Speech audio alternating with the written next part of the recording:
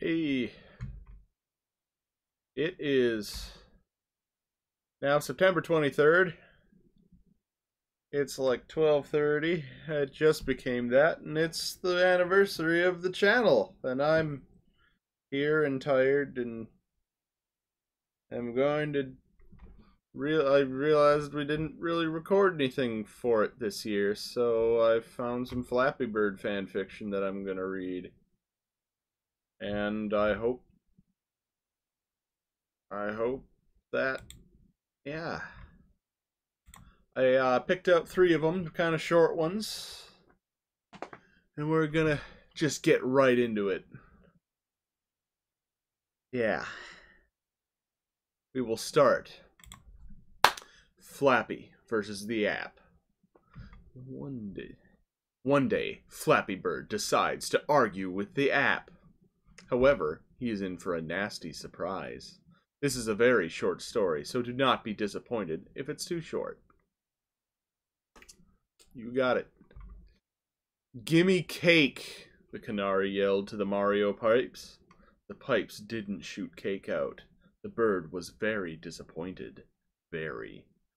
I'm not going to fly through those gaps again. The pipes still didn't do anything. I'm staying here. Gasps could be heard from a thousand miles away. Flappy Bird had just argued with the app. Sharp fangs emerged from the border of the app, and on those fangs were quite a few brutally murdered birds. They had all argued with the app before, and they had gotten punished by the fangs. Flappy didn't want to die. He just wanted cake. Now he was about to be punished. But then he saw a gap, a gap between the two fangs, who would use his flappy skills to go through the gap. Then he could be saved from the fangs. He flew up with his chubby little wings and forced himself forward. He was only a millimeter away from the fangs. He would li- either live or die. He closed his eyes and pushed once again. Light blinded him. Am I dead? Yes, he had died. Typical Flappy. All right.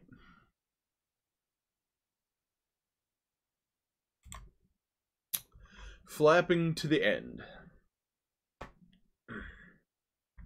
we got some meat on this one. Flappy is kidnapped and thrown into a game of death she could never have prepared herself for. The air was stale. Flappy sat close together with other birds in a cramped metal container. There must have been a hundred of them, all waiting together for what they did not know. Flappy was a young bird. Her bright yellow flight feathers had only grown in a few weeks before. She had she only had the opportunity to fly a handful of times since then, all before she was taken. The large ones had scooped her up along with her siblings. They'd been separated. Now she was surrounded by strangers. Few had begun to speak to one another, only in whispers. The dread for what was to come hung in the air, silencing the majority. Flappy found herself unable to join in the small conversations going on around her. Her own fear was too great. She had heard rumors of the sacrifices, of young birds stolen from their homes and taken to an unknown location. None had returned, and few had ever witnessed the kidnappings, let alone what had happened after. The stories had always frightened Flappy when she was a hatchling, sparking nightmares and speculation amongst her and her siblings, but never had she suspected that the stories were as real as they had been terrifying, nor did she ever truly believe that she would be among those who were taken. She heard the cage's door open, and for just a second light flooded into the cramped metal container. A giant hand entered, and an older bird up front was suddenly snatched from their numbers. His startled cries echoed throughout the small enclosure. He was pulled from the container, and the door closed. A minute or so passed before she heard a sickening crunch, and the door was opening once again. The next young bird snatched. Flappy lost track of how many times the process had repeated. More than half of the population of the cage was gone, but despite the now ample room, Flappy and the other birds had sat all huddled together as far as the door as they could, each one unwilling to be the next chosen by the hand. The rare, small conversations had ceased completely. Inside the container was a complete silence. Even from her spot towards the middle of the group, Flappy could hear nothing but occasional shuffling and ruffling of feathers from the terrified birds around her. The door opened again, and the birds around her began pushing, shoving, desperate not to be taken. Flappy felt herself being pushed from the middle. She tried hard to push back, to fight the crowd, but she wasn't strong enough, and she was quickly ejected from the group. Fear came over her as she felt the hand approaching. It seemed to move side to side, searching for its victim. The hand snatched her, none too gently. Flappy squawked with discomfort and pain as she was dragged out. Her desperate screeches ignored. Light filled her vision, blinding her for a second. She heard the door was shut, and she turned around and placed on a small wooden platform. The ceiling shut before she could react, and Flappy was left to examine her new surroundings. Before her room loomed the only visible exit, a space between two long horizontal strips of walling painted green and speckled with irregularly spaced splotches of red. The walls lay parallel to each other.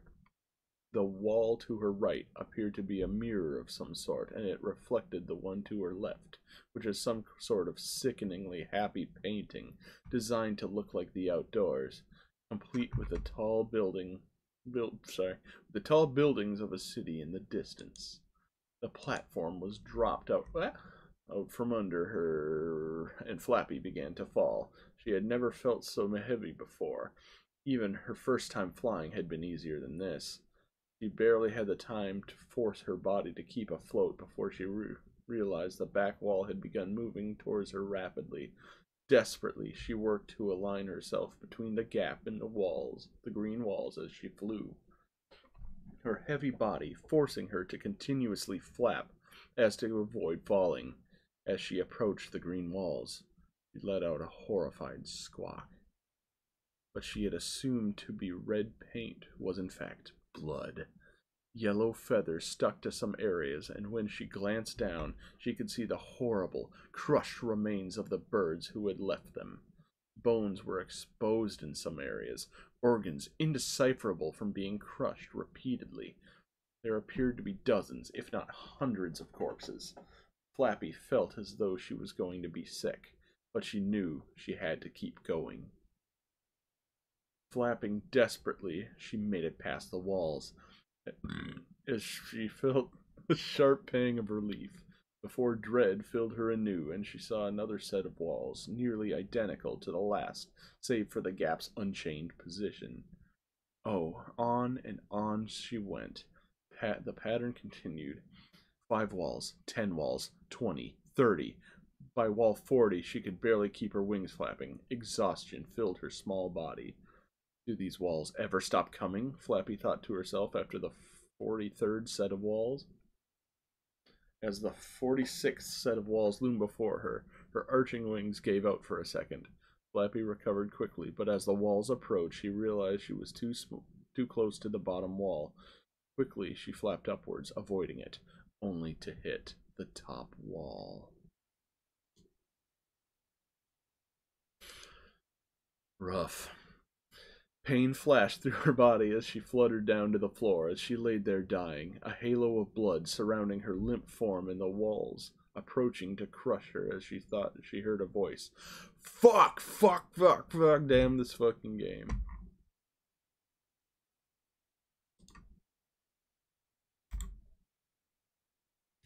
No End by Marabeth. Maybe I killed a man. Maybe I've died and gone to hell because I killed. This idea appeals to me. I'm a killer. I hold no remorse. I have killed and will kill again. The Flappy Bird fanfiction. Really. Help! Help me! I can't see an end. There is no end. I see pipes. I see pipes forever. all of them perfectly arranged with just the right amount of space between them to ruin my life and taunt me over my deformed wings. I keep crashing into them. Every time I fall, I'm immediately back, flying through pipes. Is this some sick, twisted experiment? Am I in a lab somewhere, locked away, and being observed as I flap through? I don't remember anything before this. I don't remember my name. I am a bird. Did I have a family, friend, friends, a job? Maybe I had a nest. A nest of tiny little orange and red birds. Maybe I had a mate. Maybe I was in performances. Maybe I was a laughing stock. Did people cage me and laugh at my little wings? Maybe I was criminal. Maybe I killed a man. Maybe I've died and gone to hell because I killed. This idea appeals to me. I am a killer. I hold no remorse. I have killed and will kill again. It's not real, but then again, I have no right to deem what is reality and what is falsehood. I'm a bird trapped into what very fuck very well may be hell, or a laboratory, or an alternate dimension, or a game, or my own mind. I am a bird, I am a killer, I am a performer, I am a writer, I am a politician, I am a plumber, I am whatever I say I am, because I am nothing. I have left behind worldly things and possessions. I have flapped away from this plane of existence.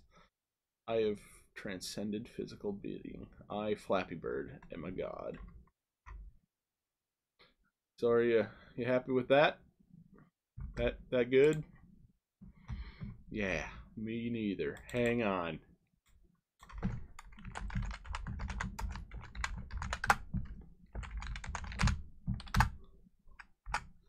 We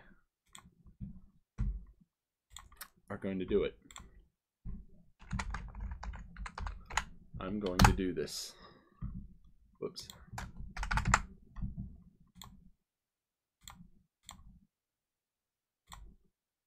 I was in a gaming clan a long time ago. There was a member who wrote this.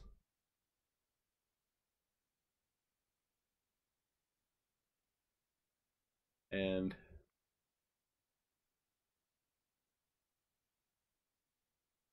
my starter. Mm, this is a mistake because I only kind of remember this, and I remember it being pretty fucked. Um, uh, it's rated M, so know that it's rated M.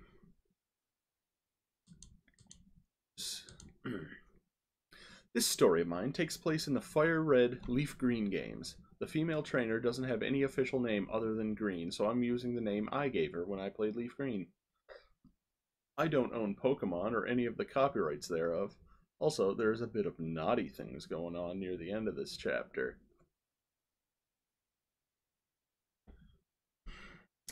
Bye, Mom. I'll just be going out for a walk. A small, uh, no, a small girl. I don't know. No, not gonna.